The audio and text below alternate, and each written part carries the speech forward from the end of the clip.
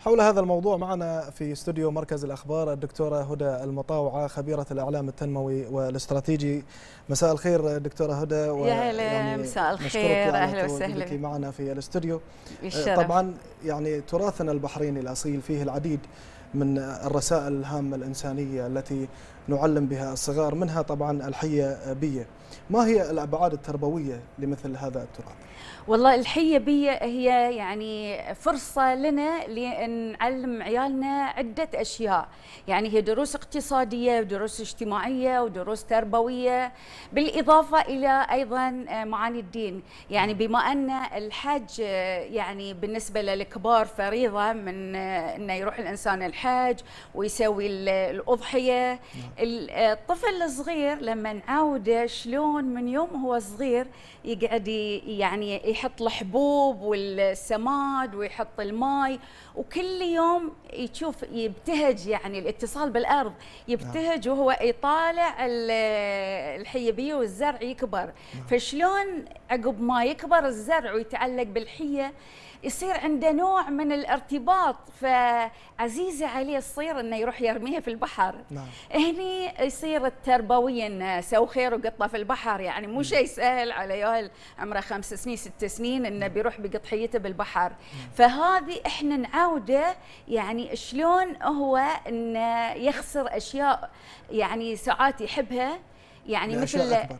حتى لا يعني أشياء يحبها. لو كان مثلا توفى عزيز عليه أحد ولا شيء شوف شلون الدرس العميق إن الحياة دورة الحياة تستمر. فإن هذه الحية لما إن إحنا نزرعها ونربيها وبعدين نقطها في البحر إحنا نغذي الأسماك وإحنا البذور الله يعلم البذور اللي فيها ممكن إن تنتشر بعد وتزرع في أماكن أخرى. كل هذه التربية وبعدين إحنا يعني لها علاقة أيضا بالحياة الاجتماعية.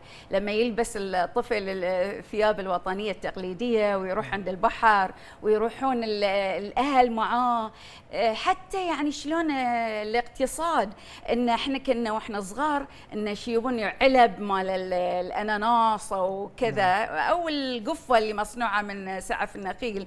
شلون الطفل يصنع بروحه؟ هذه تربية على الاقتصاد. نعم. شلون أنت يعني تاكل من من خيرات الأرض؟ نعم دكتورة. بيدك نتحدث أيضا عن توظيف الإعلام في يعني غرس مثل هذه المفاهيم الوطنية التي نستمدها من تراثنا الأصيل طبعا يعني بما كأن كنت من عيالي ومن نعم. الإعلاميين إن شاء الله القديرين اللي لازم يفكرون أن الإعلام مو فقط من يعرف يكتب ولا يعرف يتكلم صحيح.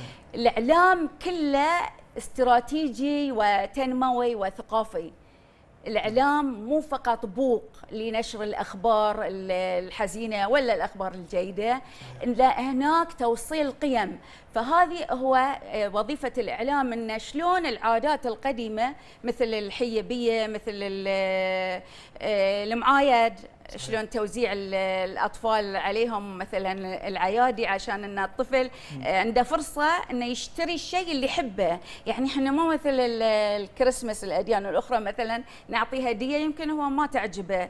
هذه إحنا عندنا يعني اقتصاد أكثر أيضا في علاقاتنا إن نعطي الطفل إنه يشتري الأشياء يجمع هالفلوس ويروح يشتري بها. يعني صدق مو من العيد يعني من أجل الفلوس بس هذه الفرحة. وبعدين حتى اللي يعني ما عنده مبالغ كثيرة يعطي مثلا خمس دينار ذي حتى لو يعطي يعني نص دينار. آه المهم إن هذه زكاة تزكية للنفس. صحيح. فإحنا يعني في هذه آه كإعلاميين شلون نطلعنا هذه العادات كلها اللي عندنا يعني الأضحية الحيبية حيه بي راحت حية مثل يا يا حيتي يقولون حجيبي كأن صحيح. هذه تقديم لله سبحانه وتعالى إن مثل ما تقدم للأضحية نعم. قدم لها الزرع نعم. يعني كل هذه دروس تربوية ووطنية من تراثنا شكرا لك يا الدكتورة هدى المطاوعة خبيرة الإعلام التنموي والاستراتيجية على. تواجدك معنا في استوديو أتشرف. مركز الأخبار